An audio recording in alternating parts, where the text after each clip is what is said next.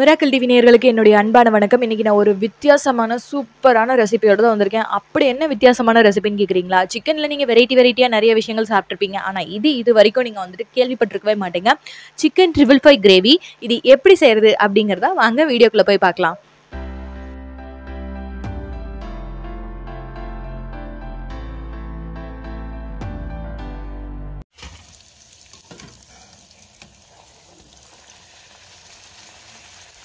thank you